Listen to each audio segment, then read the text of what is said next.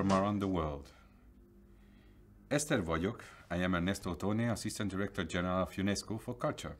It is my great pleasure to offer an introductory remark at the 26th edition of WOMEX. The year 2020 has been an extremely special year.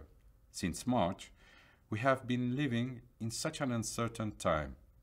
I would like to commend WOMEX organizers for their commitment to maintain this edition of the Marketplace for the World Music despite the difficult situation.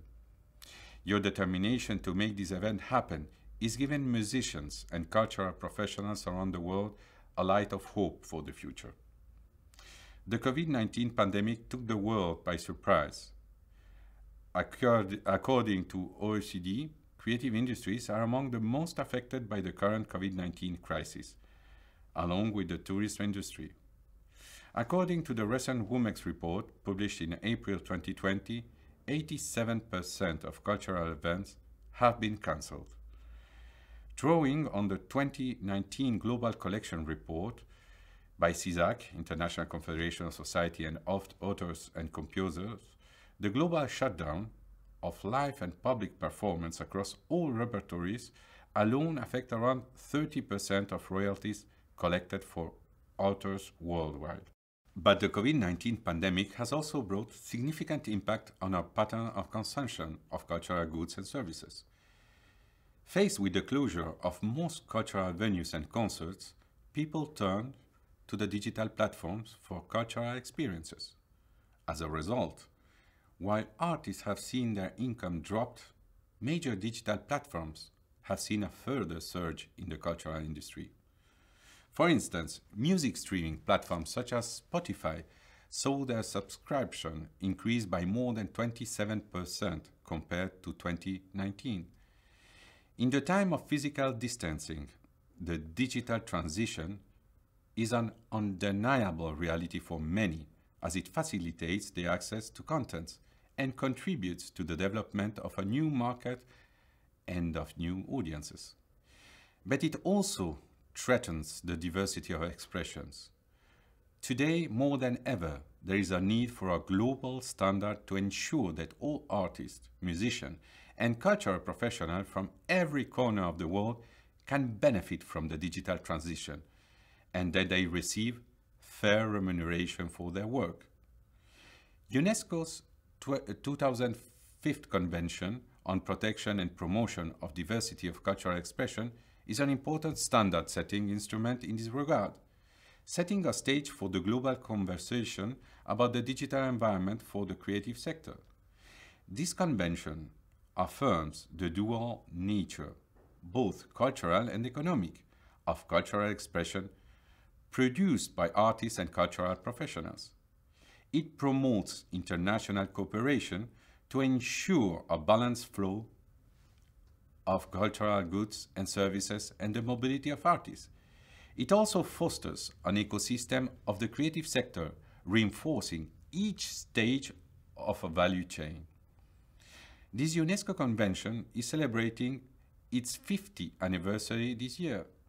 Throughout the past years, the convention has supported different projects worldwide to strengthen the music industry through capacity building of young talented musicians in Morocco and Tunisia, the mobility of musicians from Barbados to the United States, the mapping of the music industry in Haiti, or the development of the music market in Tajikistan, supporting market access of musicians in Africa.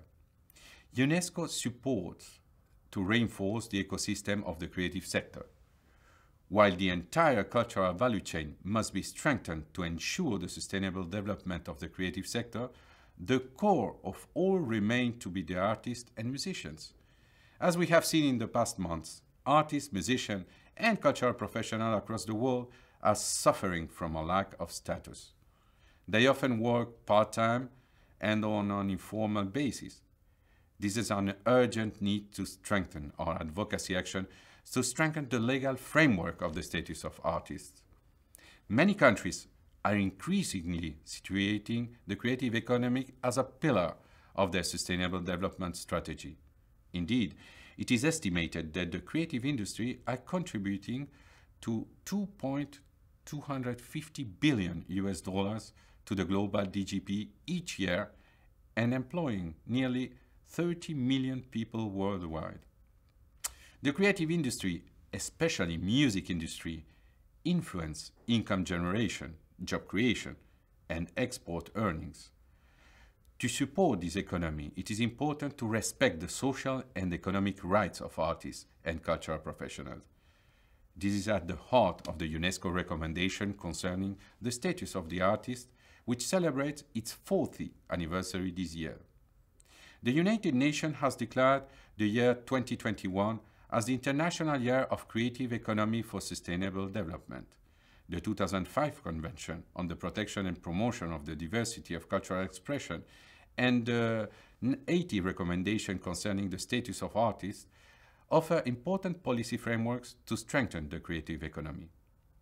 To conclude, I would like to thank all of you, artists and cultural professionals all over the world for all your work. If there, if there is anything this COVID-19 pandemic made clear to all of us, it is the essential role that music, arts and culture play in everybody's life and that they make us more resilient. We hope that we will continue working together to sustain our music industry despite various difficulties we are facing. Köszönöm, thank you, and I wish you an excellent Women's Forum.